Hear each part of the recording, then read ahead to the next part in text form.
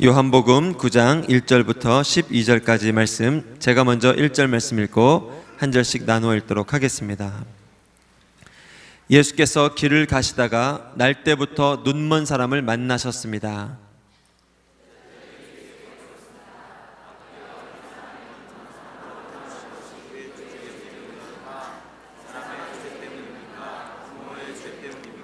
예수께서 대답하셨습니다. 이 사람의 죄도 그 부모의 죄도 아니다. 다만 하나님께서 하시는 일들을 그에게서 드러내시려는 것이다. 나를 보내신 분의 일을 해야 한다. 밤이 오면 그때에는 아무도 일할 수 없다. 내가 세상에 있는 동안 나는 세상의 빛이다. 이 말씀을 하신 후 예수께서 땅에 침을 뱉어서 진흙을 이겨 그 사람의 눈에 바라셨습니다. 그리고 그에게 말씀하셨습니다. 실로암 연못에 가서 씻어라. 실로암은 보냄을 받았다는 뜻입니다. 그 사람이 가서 씻고는 앞을 보게 돼 집으로 돌아갔습니다. 그가 전에 구걸하던 것을 보아온 사람들이 물었습니다. 이 사람은 앉아서 구걸하던 사람은 몇몇 사람들은 그 사람이라고 말했고 또 어떤 사람들은 아니다. 그냥 닮았을 뿐이다라고 말했습니다. 그러나 그 사람이 말했습니다. 내가 바로 그 사람이요.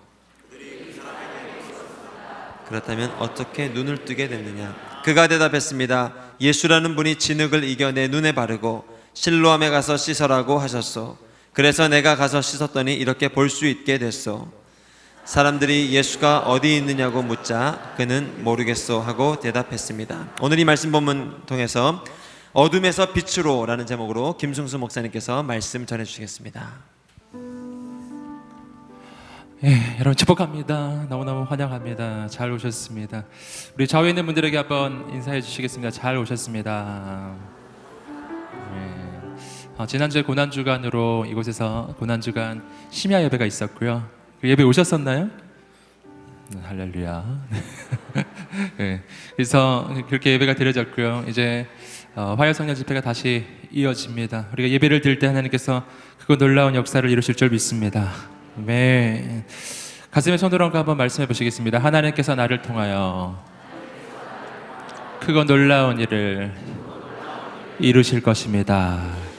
아멘. 그런 하나님의 기대와 하나님을 향한 기대와 소망이 있는 이 밤이 되기를 간절히 소망합니다. 어, 어, 우리는 지난주에 그 우리 대한민국에서 정말 모든 사람이 가슴 아파하는 아주 큰 사건을 경험했고요. 그 사건은 아직도 진행 중입니다.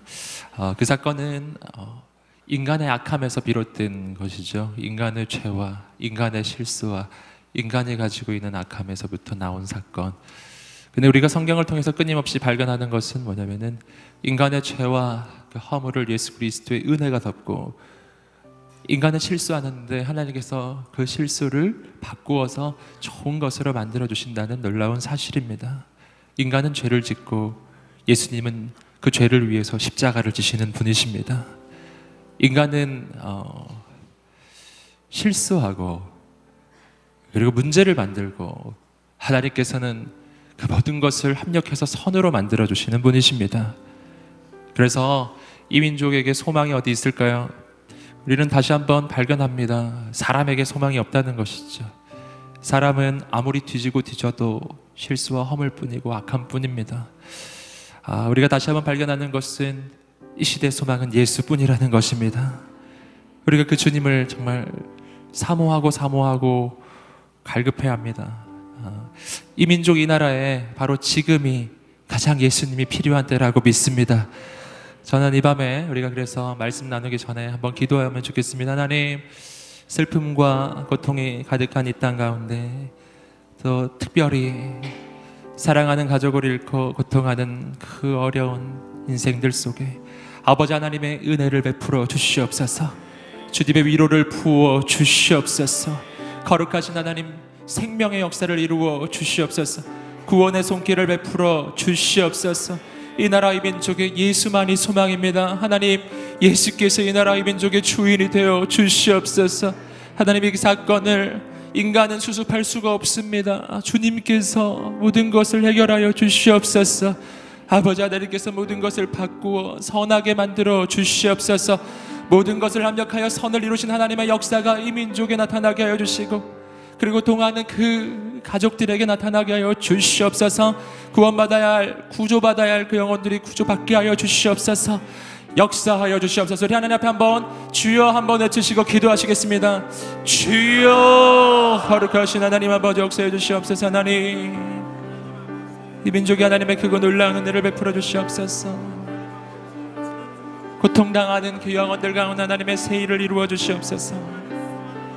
거룩하신 하나님의 역사가 나타나게 하여 주시옵소서. 주님 하늘의 은혜를 부어 주시옵소서. 우리가 기도할 때 하나님 하나님의 세일을 이루어 주시옵소서. 주님을 삼으며 나가는 영혼들마다 하나님 역사해 주시옵소서. 하나님 붙잡아 주시옵소서. 역사하여 주시옵소서. 주님 도와 주시옵소서. 주님 은혜를 베풀어 주시옵소서. 이 민족이 다시금 주 앞에 무릎을 꿇게 하여 주시옵소서. 우리 그리스도인들이 기도하게 하여 주시옵소서. 하나님 구조받아야 할 영혼들이 구조를 받게 하여 주시옵소서. 하나님 생명의 주님 행하소서.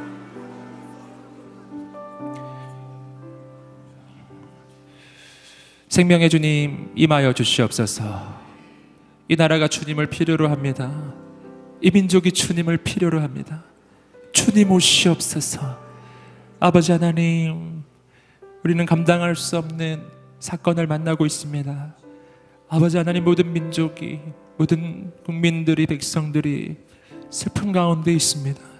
아버지 인간의 이 악함 속에서 나오는 이 모든 절망감과 좌절감 속에서 예수 그리스도를 향한 소망을 발견하게 하여 주시옵소서.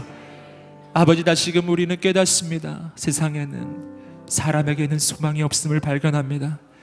아버지 하나님 오늘 우리의 인생이 죽게 소망을 두게 하여 주시옵소서. 하나님을 바라보게 하여 주시옵소서. 아버지 하나님 사랑하는 자녀들을 잃은 그 부모들에게 사랑하는 가족을 잃은 그 사람들에게 하늘의 위로를 내려 주시옵소서. 거룩하신 주님 기도합니다. 구조받아야 할 영혼들 구조받게 하여 주시옵소서. 아버지 하나님 주께서 친히 행하여 주시옵소서. 거룩하신 주님 이 사건 앞에서 우리가 하나님 앞에 무릎을 꿇게 하여 주시옵소서. 아버지를 바라보게 하여 주시옵소서. 하나님 이 일을 통해 이 민족이 주께 돌아오게 하여 주시옵시고 아버지 우리가 하나님의 그 뜻과 계획을 깨닫게 하여 주시옵소서. 인간의 악함을 가장 선함으로 바꾸어 주신 하나님의 그 손길을 경험하게 하시고 우리 그리스도인들이 먼저 기도하게 하여 주시옵소서. 감사를 드립니다. 언제나 모든 것을 합력하여 선으로 이끌어 주시는 하나님을 우리는 기대합니다. 감사를 드리며 예수님의 이름으로 기도드립니다. 아멘. 예, 우리는 이번 한 달 동안 miracle maker라고 하는 주제를 가지고 예수님에 대해서 우리가 함께 나누고 있습니다.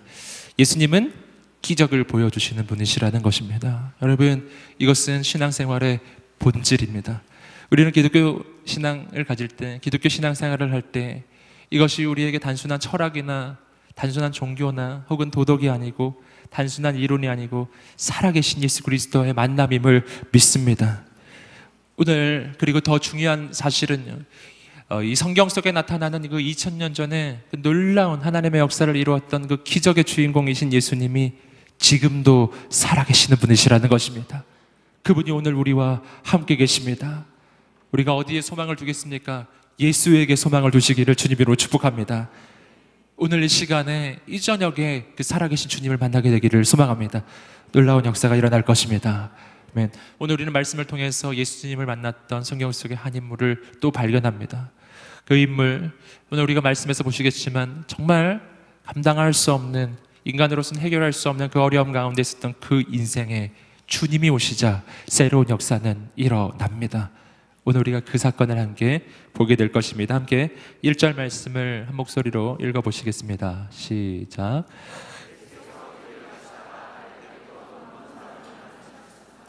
예, 예수님께서 한 사람을 만나는 것으로부터 이 사건을 시작하고 있습니다. 그 사람은 어떤 사람인가? 날 때부터 눈먼 사람이라고 하는 거예요. 여기서 아주 중요한 것은 뭐냐면 날 때부터라고 하는 표현입니다.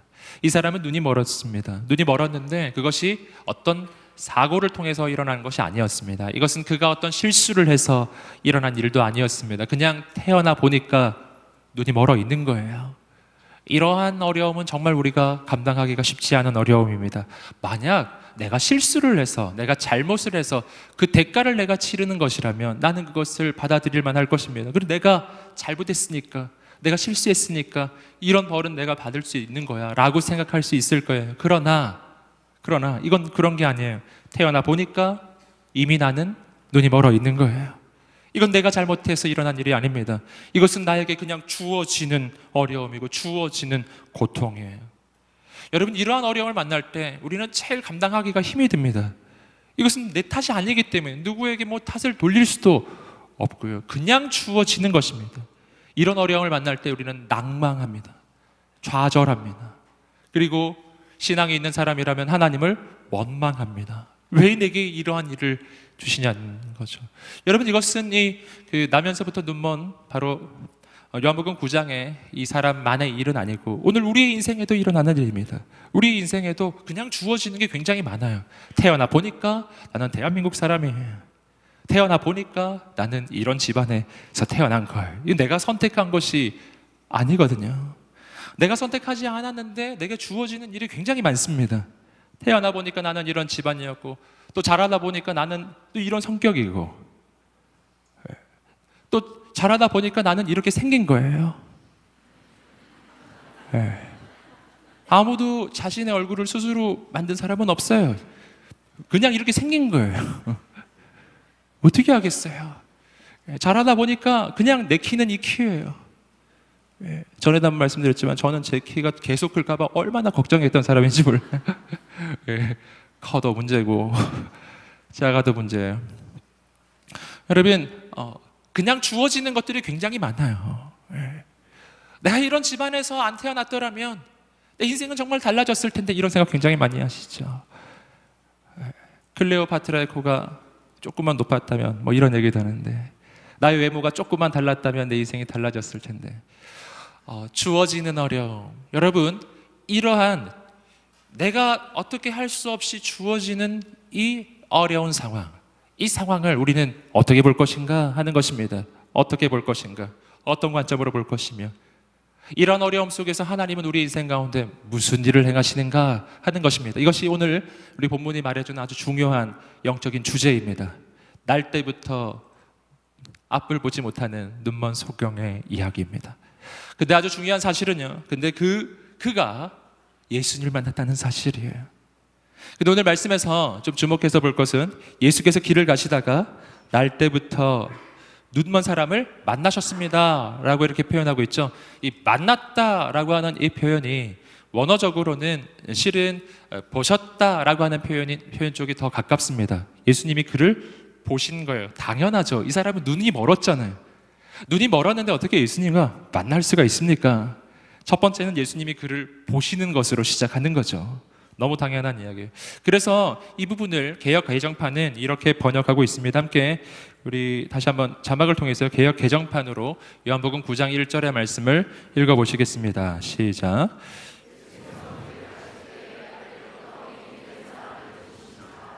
그렇죠. 이렇게 됐죠. 예수께서 길을 가실 때 날 때부터 맹인된 사람을 보신지라 보셨다는 것입니다. 예수님이 그를 보시는 거예요. 그러면 여기서 우리는 한 가지 의문을 가져볼 수 있습니다. 그것은 예수님이 그를 보게 된 것이 어떤 까닭일까 하는 것입니다. 우연히 보신 것일까요? 그냥 길을 가다가 우연히 옆에 보니까 눈먼 사람이 있어요. 그냥 우연히 스쳐 지나가다가 보고 지나가신 걸까요? 여러분 그렇지 않습니다.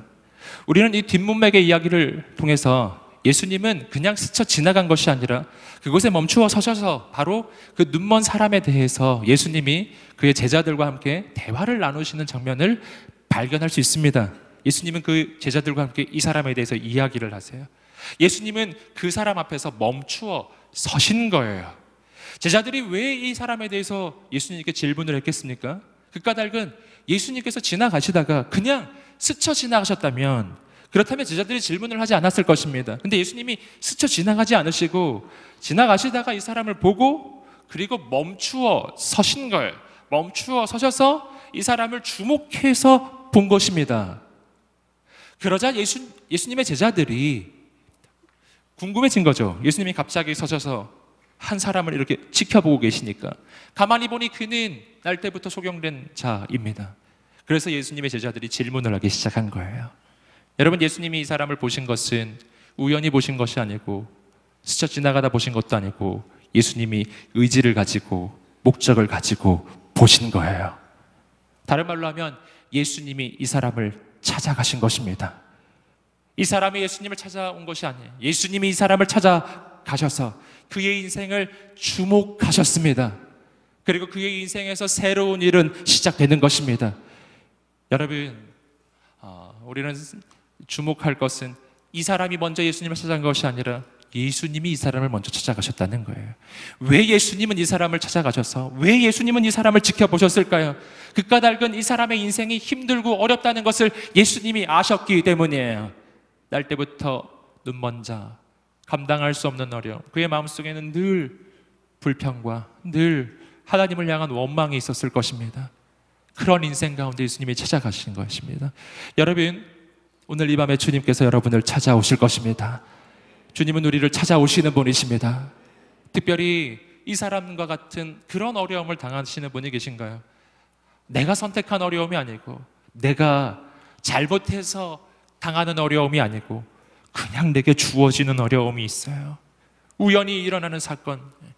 내가 잘못한 것이 아닌데 내게 일어나는 이 엄청난 일들 속에서 그 사건들 속에서 오신 분이 계신가요? 그렇다면 오늘 이 말씀을 통해서 하나님의 관점을 보게 되실 것입니다. 주님이 당신을 찾아가실 것입니다. 주님이 당신의 인생 가운데 새 일을 이루실 것입니다. 아멘. 주님은 그런 사람을 찾아오시는 분이세요. 예수님 멈추어 서셨습니다. 그 사람을 보기 시작하셨어요. 그러자 예수님의 제자들이 예수님께 질문을 합니다. 함께 2절 말씀을 읽어 보시겠습니다. 시작. 예수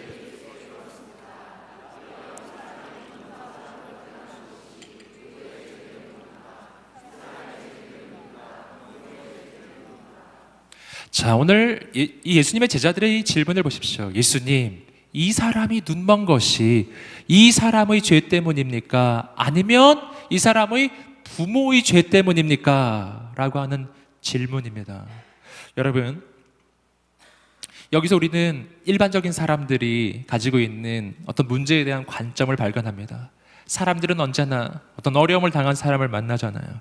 그러면 그에 대해서 어떻게 보냐면은 그는 대체 무슨 잘못을 저질렀길래 저런 벌을 받는 것인가 라고 보는 거예요. 그래서 우리는 사람을 만나면 절망하고 좌절합니다. 왜냐하면 나는 어려움을 당한 것도 너무나 힘이 든데 근데 사람들은 나를 볼 때 어떻게 보냐면은 뭔가 죄를 졌기 때문에 뭔가 잘못을 저질렀기 때문에 그래서 저런 일을 당하는 걸 거야 라고 보는 것이거든요. 피해를 당하고 어려움을 당한 것도 힘이 든대요. 그 원인이 나에게 있다고 하니 정말 더 힘든 것입니다. 그 대표적인 것이 그 왕따라는 것이 있잖아요. 여러분 왕따를 당한 사람을 보면은 대부분의 사람들이 어떻게 봅니까? 그 사람이 어떻게 했길래 왕따를 당했겠느냐라고 보는 거죠. 그에게 잘못이 잘못이 있다고 보는 거예요. 그에게 원인이 있다고 보는 거예요. 뭔가 어려운 일이 일어나면 큰 사건이 일어나면 뭔가 잘못을 했기 때문에 여러분 이러한 세상 속에서 우리가 살기 때문에 세상에서 살기가 매우 어렵습니다. 여러분 오늘 그러한 세상 속에서 그런 사람들 속에서 우리 인생에게 새로운 음성을 들려주시는 분이 계세요. 바로 예수 그리스도이십니다. 주님이 뭐라고 이야기하십니까? 주님이 이렇게 말씀해 주셨어요. 함께 3절 말씀을 읽어 보시겠습니다. 시작. 예수께서 대답하셨습니다. 이 사람의 죄도 그 부모의 죄도 아니다. 다만 하나님께서 하시는 일들을 아멘. 놀라운 이야기예요. 주님이 말씀해 주셨어요. 이것은 그의 잘못도 아니다. 그의 부모의 잘못도 아니다. 라고 말씀해 주십니다. 세상은 말합니다. 이건 너 탓이야. 너 때문이야. 라고 이야기할 때 예수님이 말씀해 주셨어요. 이건 너 때문이 아니야. 너의 잘못 때문이 아니야. 너의 실수 때문이 아니야. 라고 말씀해 주시는 것입니다. 아멘. 오늘 주님의, 음- 주님의 음성을 여러분에게 들려드리겠습니다. 당신 때문에 일어난 일이 아닙니다. 당신 탓이 아닙니다. 할렐루야. 옆 사람에게 한번 말해주세요. 당신 때문이 아닙니다. 당신 탓이 아닙니다. 주님의 음성을 들으셔야 돼. 이건 네 잘못이 아니야. 이건 네 탓이 아니야. 아니라는 걸. 사람의 말을 듣지 않으시기를 주님으로 축복합니다. 주님의 음성을 들으시기를 주님으로 축복합니다. 너 때문이 아니야. 너가 잘못해서 일어난 것도 아니고 너의 죄 때문도 아니야. 이건 대체 그럼 무슨 사건이냐? 주님 말씀하셨습니다. 이렇게 말씀하셨어요. 다만 하나님께서 하시는 일들을 그에게서 드러내시려는 것이다. 할렐루야. 하나님께서 하나님의 음성을 들려주십니다. 하나님께서 하시는 일들을 그에게서 드러내시려는 것이다. 인간이 보기에는 인간이 보기에는 그 사람 때문에 일어난 일인 것처럼 보였는데 그게 죄 때문에 일어난 일처럼 보였는데 주님이 말씀해 주셨어요. 그 관점을 완전히 뒤집어 주셔서 그렇지 않고 이것은 하나님의 역사와 하나님의 기적을 이루기 위한 하나님의 방법이 될 것이다 라고 말씀해 주시는 것입니다. 여러분 격려하고 축복합니다. 어떤 어려움을 만나셨나요? 그 어려움이 바뀌어 간증거리가 될 것입니다. 어떤 위기를 만나셨나요? 그 위기는 바뀌어 가장 놀라운 하나님의 기회가 될 것입니다. 가장 큰 위기는 가장 큰 기적으로 바뀔 것입니다. 이것이 주님께서 말씀해 주시는 것입니다. 새로운 하나님의 관점에 여러분 인간적인 관점으로 보면 어려움 그것만 바라봐요. 인간적인 관점으로 보면 내가 경험하는 이 실패 이것만을 바라본다는 것입니다. 인간적인 관점으로 보면 내가 경험하고 있는 이 내 삶의 이 난관과 한계 그것만을 바라본다는 것입니다. 여러분 하나님의 눈으로 바라보기 시작하면 모든 것이 바뀌기 시작합니다. 어떻게 바뀝니까? 그 난관은 하나님의 영광을 나타내는 하나님의 기회로 바뀔 것입니다. 그래서 우리는 이렇게 말할 수가 있는 거예요. 함께 따라해 보시겠습니다. 하나님께서 주시는 것은 다 좋은 것이다. 아멘. 또 이렇게도 말할 수 있어요. 함께 말해 보시겠습니다. 하나님 안에서는 모든 것이 좋은 것으로 바뀔 것이다. 아멘. 이것이 하나님의 관점이에요. 로마서 8장 28절이 이야기하는 것처럼 하나님을 사랑하는 자 곧 그의 뜻대로 부르심을 입은 자들에게는 모든 것이 합력하여 선을 이룰 것이다. 라는 것입니다. 여러분, 이 사람은 날 때부터 눈이 먼 사람이에요. 인간적으로 바라보면 저주받은 인생이죠. 하나님의 관점으로 바라보면 바뀝니다. 이것은 하나님의 역사의 기회로 바뀔 것입니다. 주님의 관점이에요. 여러분, 어, 성경을 바라보시, 성경을 보시면은 어, 이스라엘 민족이 경험했던 그 모든 일들이 바로 이와 같은 일들입니다. 어, 가장 큰 위기는 간증거리로 바뀝니다. 이스라엘 민족이 홍해를 만납니다. 무슨 일이 일어나죠? 홍해가 갈라지는 가장 놀라운 기적이 일어나는 것입니다. 다윗이 골리앗을 만났습니다. 무슨 일이 일어나죠? 골리앗이 쓰러지는 역사가 일어나는 것입니다. 이스라엘 민족이 여리고성을 만나면 여리고성이 무너지는 역사가 일어나는 것입니다. 어려움은 어려움으로 끝나지 않고 그 뒤에 하나님의 역사로 하나님의 영광으로 그 모든 것이 바뀌는 일로 그렇게 새로워질 것입니다. 그 하나님을 기대하시기를 주님으로 축복합니다. 새로운 일이 일어날 것입니다. 그래서 중요한 것은 뭐냐면 내가 어떤 일을 경험하고 있고 내가 어떤 문제 속에 있느냐 내가 어떤 결점이 있느냐 이것이 중요한 문제가 아니라는 거예요. 중요한 것은 내가 하나님과 함께 있느냐가 중요한 것입니다. 하나님께서 거기 계시면 하나님께서 모든 것을 바꾸어 주실 것입니다. 오늘 말씀을 다시 한번 보십시오. 이렇게 돼 있죠. 이 사람의 죄도 그 부모의 죄도 아니다. 다만 하나님께서 하시는 일들을 그에게서 드러, 드러 내시려는 것이다. 어떤 일이요? 하나님께서 하시는 일이에요. 함께 따라해 보시겠습니다. 하나님께서 하시는 일. 아멘. 하나님께서 하시는 일이 그를 통해 드러날 것이다. 라는 것입니다. 왜 하나님께서 하시는 일이 그를 통해 드러날까요? 그 까닭은 그의 인생에 더 이상 인간이 할 수 있는 일이 없었기 때문이에요. 날 때부터 눈먼 인생, 아무것도 인간이 할 수 있는 일은 없어요. 인간이 할 수 있는 그 일의 소망은 끊어졌습니다.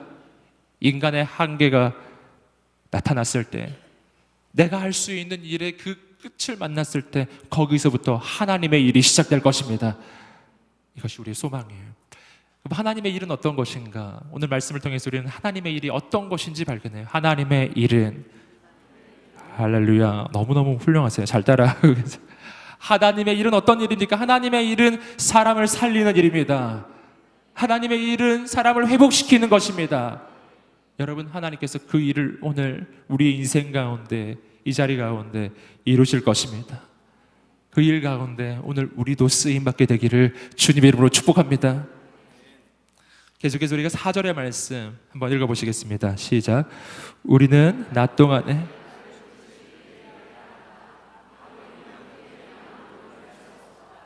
사절 말씀을 보시면은 이렇게 이야기하고 있습니다. 우리는 낮 동안에 나를 보내신 분의 일을 해야 한다. 밤이 오면 그때는 아무도 일할 수 없다. 낮 동안에 나를 보내신 분의 일을 해야 한다. 우리는 뭐를 해야 한다고요? 나를 보내신 분의 일을 해야 한다. 자, 여기서 예수님은 이 대화의 초점이 지금 바뀌고 계십니다. 먼저는 예수님은 바로 그 어, 눈먼 사람, 어, 바로 그에 대해서 이야기하고 계셨습니다. 그가 눈먼 것은 그의 잘못이 아니고 오히려 그의 인생을 통해서 하나님의 역사가 이루어질 하나님의 방법이 될 것이다. 라는 거예요. 여러분, 그런데 이제는 제자들에 대해서 이야기하고, 이야기하고 계신 거예요. 이제 제자들과 함께 말합니다. 우리는 그럼 어떤, 어떤 것에 관심을 가져야 하느냐? 우리는 우리를 보내신 분의 일을 하는 것에 관심을 가져야 한다는 것입니다. 한번 따라해 보시겠습니다. 우리는 다른 사람의 죄를 들추어내는 것이 아니라 하나님의 일을 하는 것에 관심을 가져야 한다. 아멘. 이것이 주님의 말씀의 뜻이에요.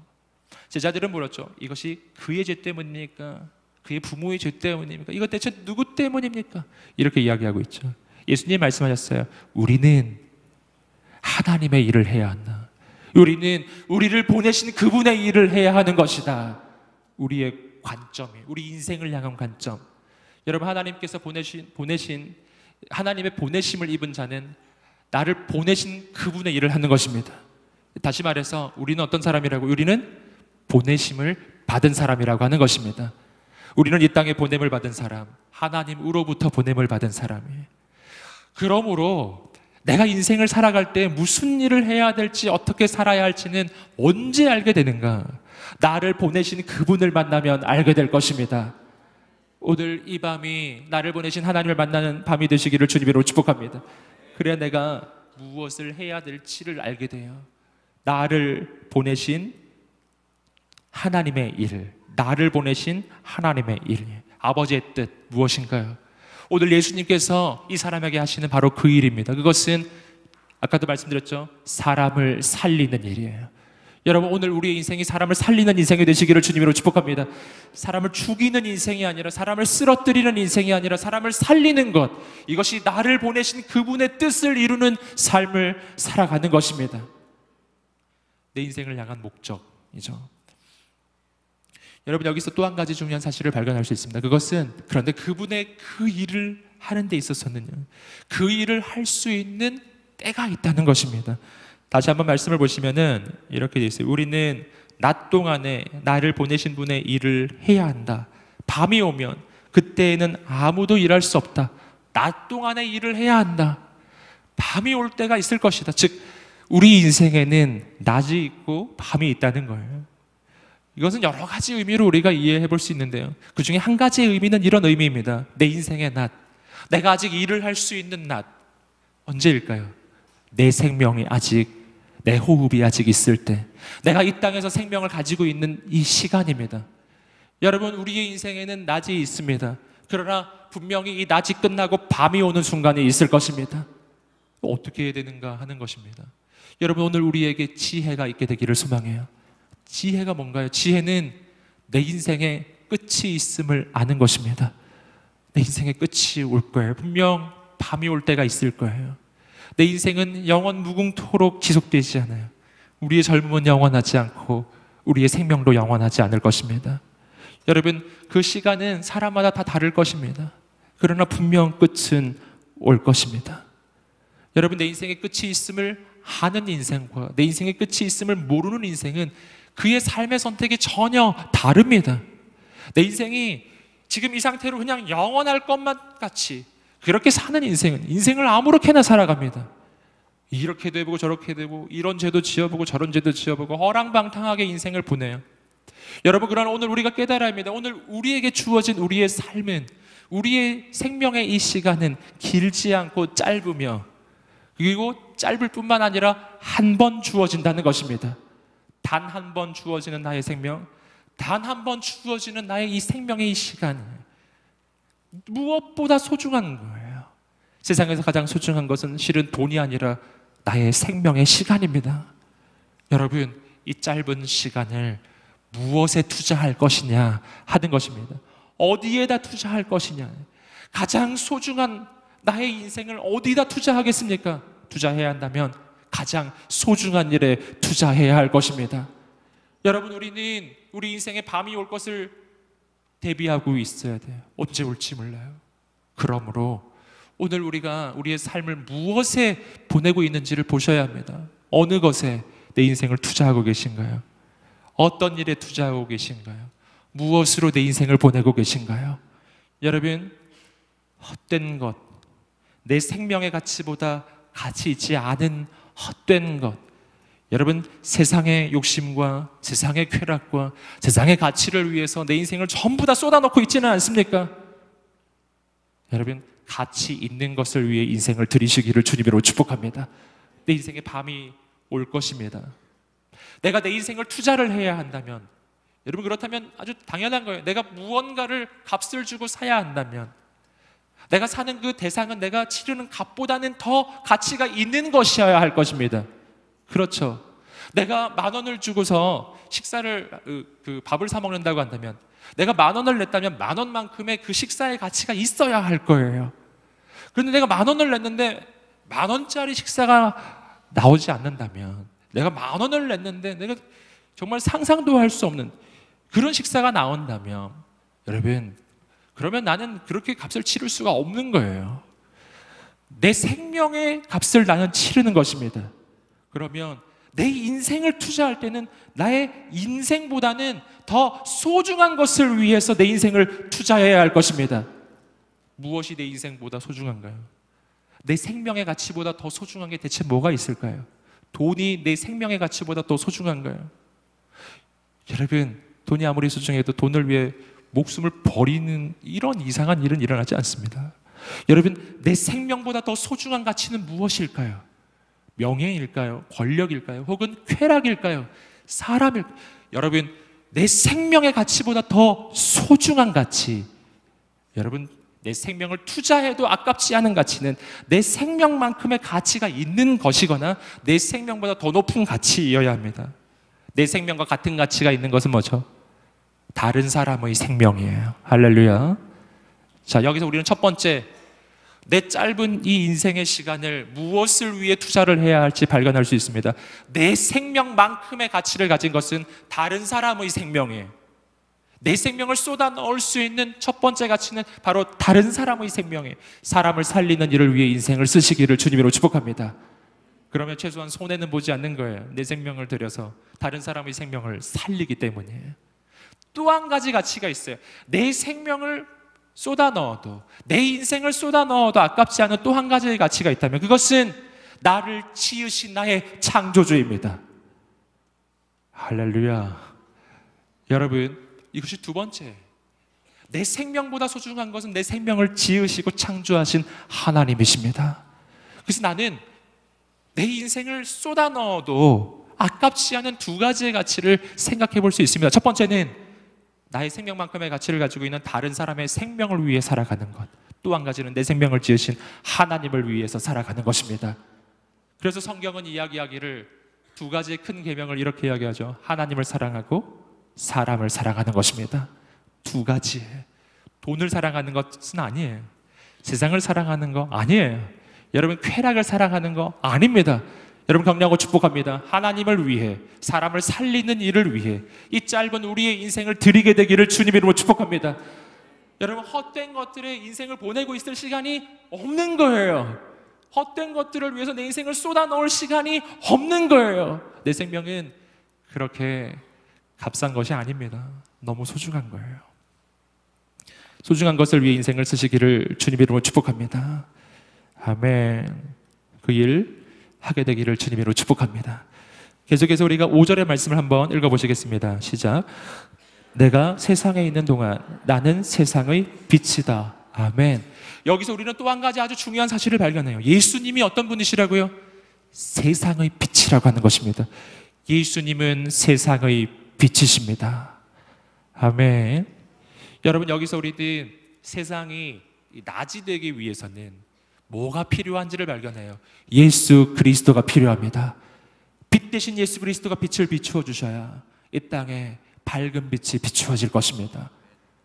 여러분 그러므로 내가 어디에 있든지 무슨 일을 하든지 내게 필요한 것 그것은 예수 그리스도이십니다. 여러분 우리 인생을 살리고 우리 가정을 살리고 우리의 직장을 살리고 사회를 살리는 것 예수 그리스도이십니다. 여러분 우리의 가정과 학교와 직장에 오직 예수만이 있게 되기를 주님의 이름으로 축복합니다. 계속해서 예수님께서 이 사람을 이제 건지시고 구원해 주신 놀라운 기적의 현장에 함께 6절과 7절 말씀을 읽어 보시겠습니다. 6절과 7절입니다. 시작. 이 말씀을 하신 후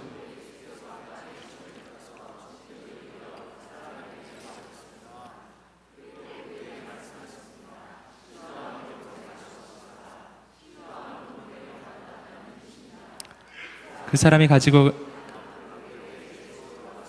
아멘. 야, 예수님께서 이 사람을 이제 치료해 주셨어요.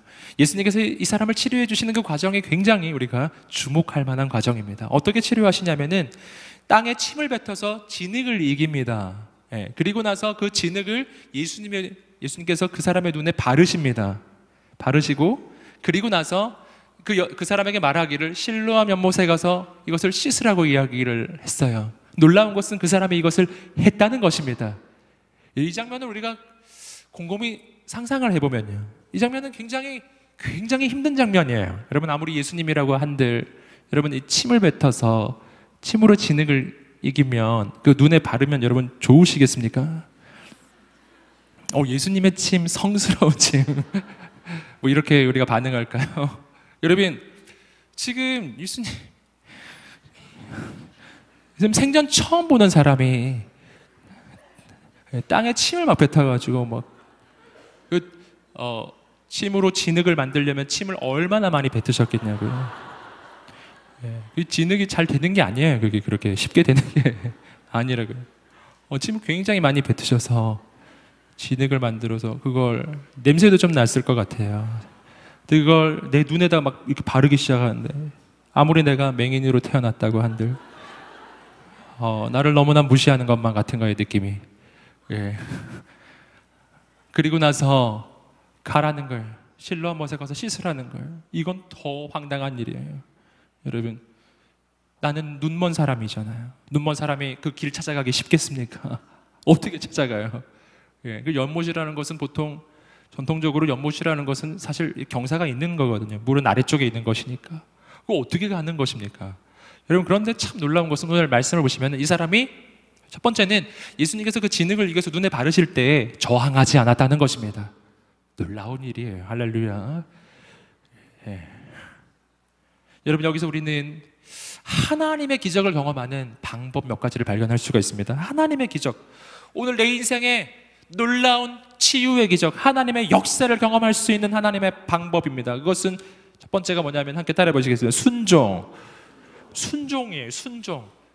어떤 순종이 있었는가? 첫 번째는 주님의 치유 과정에서의 순종이에요. 그것은 지금 말씀드린 그대로입니다. 예수님께서 침을 뱉어서 땅에 진흙을 이기시고 정말 특이하게도 그리고 나서 그 진흙을 내 눈에 막 바르기 시작할 때 그때 이 사람이 거부하지 않았다는 것입니다. 그걸 거절하지 않았다는 것입니다. 그냥 가만히 있었습니다.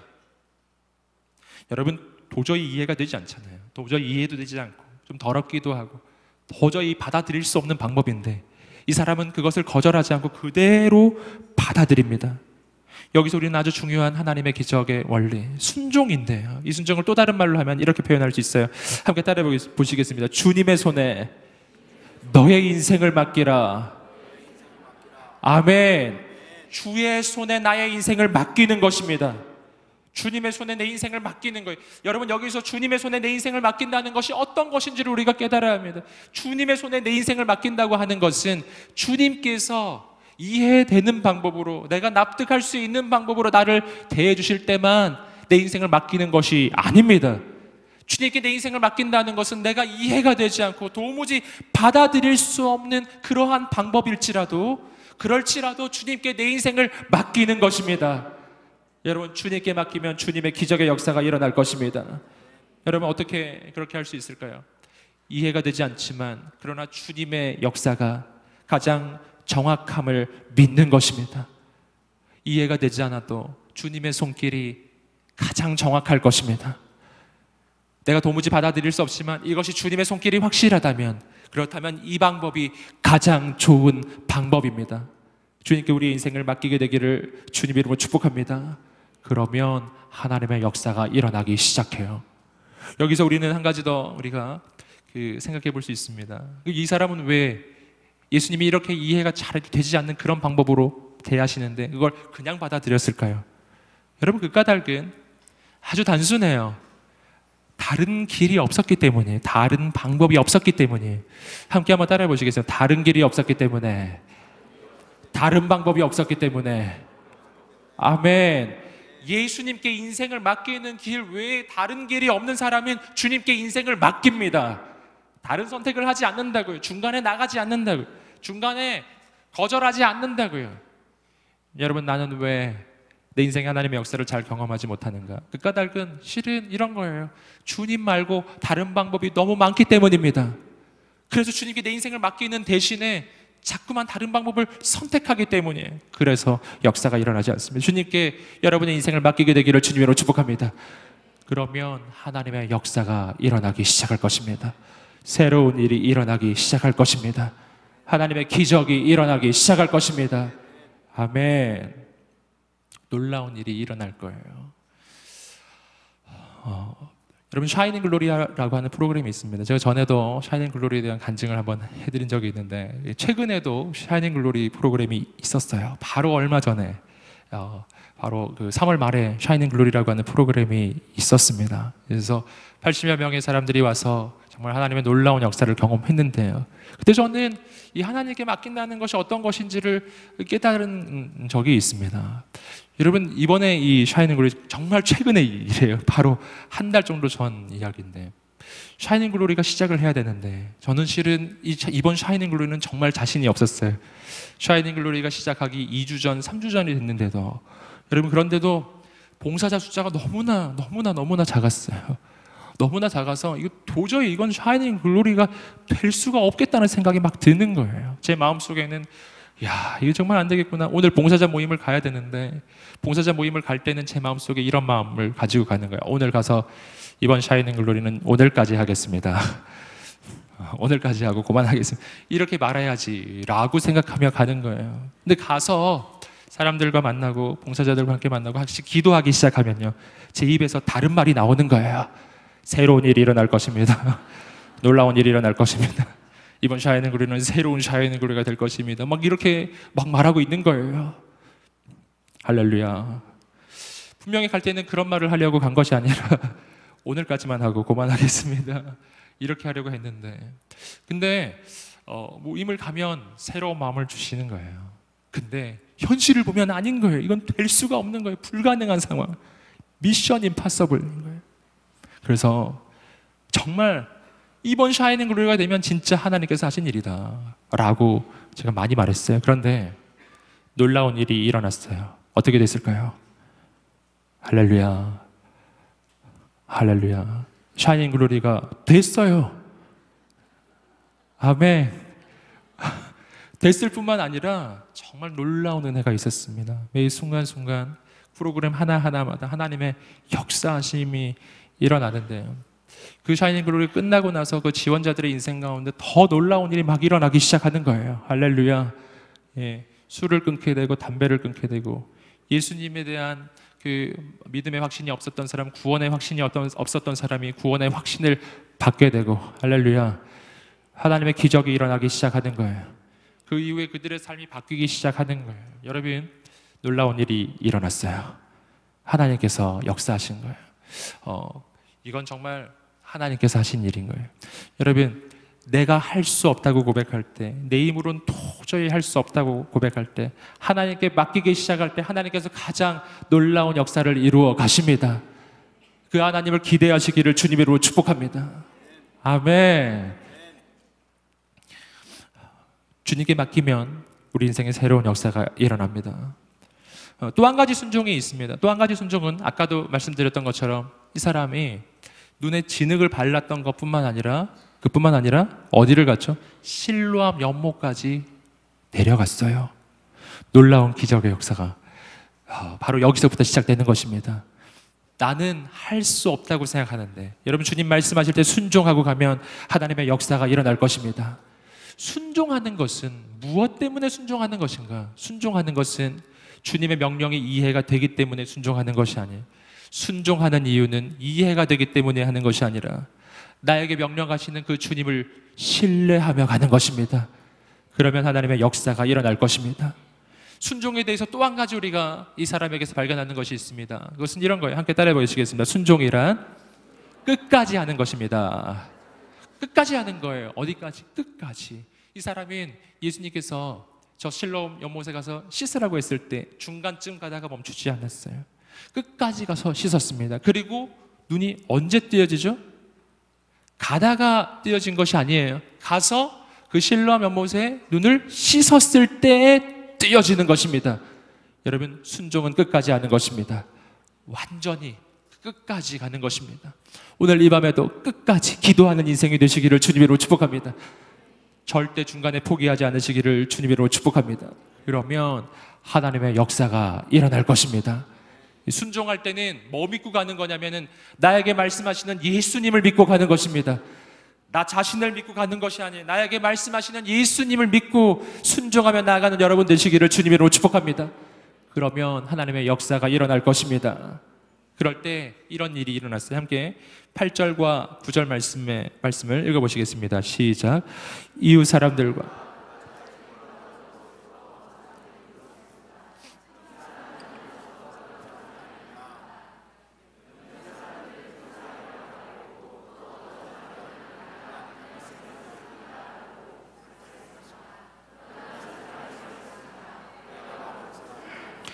아멘.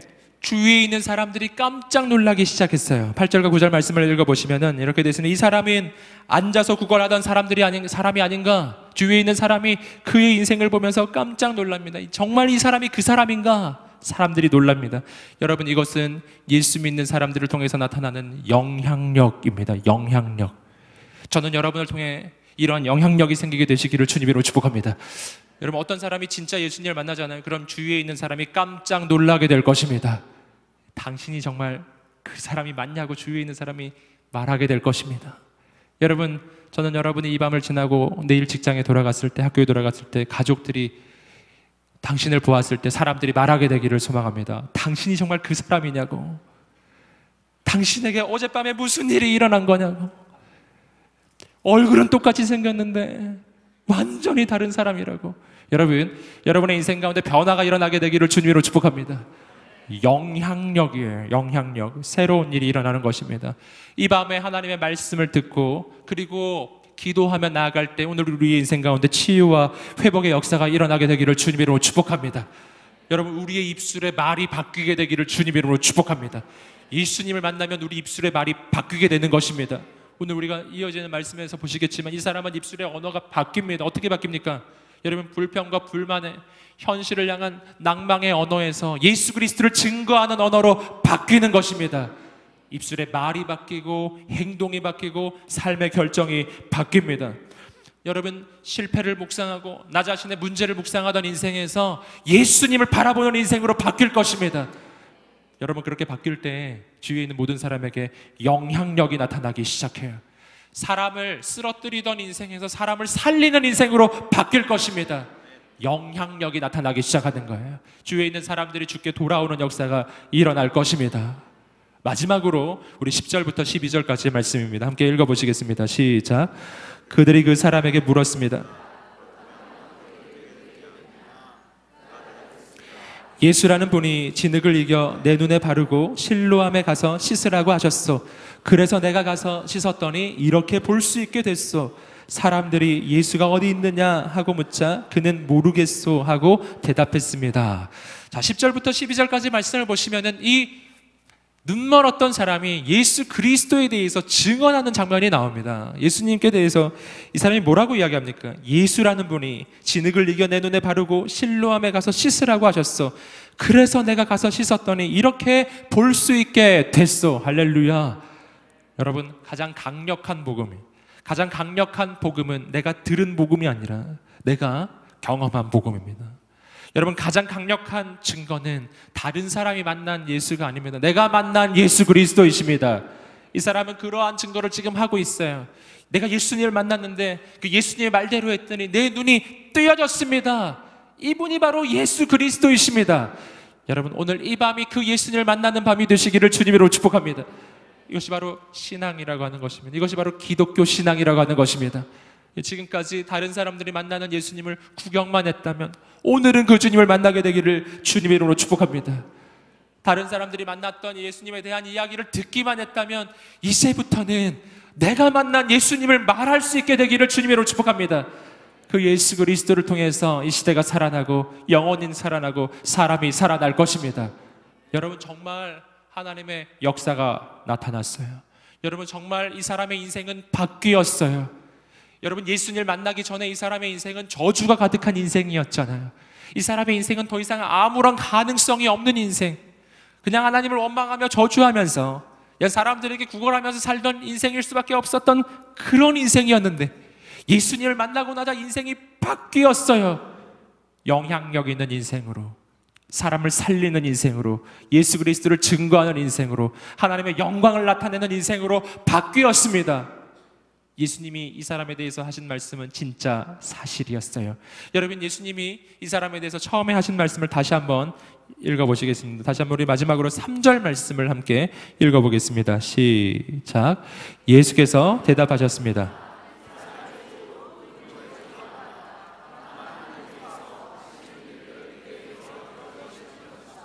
아멘.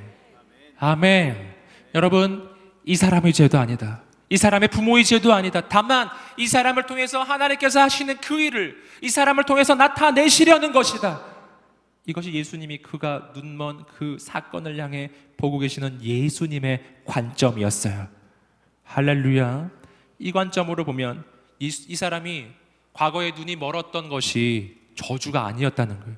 그것이 그의 인생의 비난거리나 저주의 거리가 아니라는 것입니다. 이것은 하나님의 역사의 방법이에요. 그러므로 그것은 하나님의 눈으로 보면 나쁜 것도 아니라는 것입니다. 인간의 눈으로 보면 이건 정말 나쁜 거라고 생각했는데 하나님의 관점으로 보니까 그게 나쁜 것이 아니라 좋은 것이었다는 거예요. 여러분 격려하고 축복합니다. 오늘 이 밤이 그러한 밤이 될 것입니다. 여러분 주님을 만나면 나의 인생은 바뀝니다. 여러분 지금까지 살아왔던 과거가 어떠하셨나요? 지금까지 살아온 삶이 어떠하셨나요? 인간적인 관점으로 보면은 이 눈먼 사람처럼 내 인생은 너무나 저주스럽고 내 인생은 너무나 실패와 절망이 가득한 인생이라고 고백할지 모릅니다. 그러나 예수 안에서는 모든 것이 바뀔 것입니다. 여러분 예수 안에서는 바뀔 것입니다.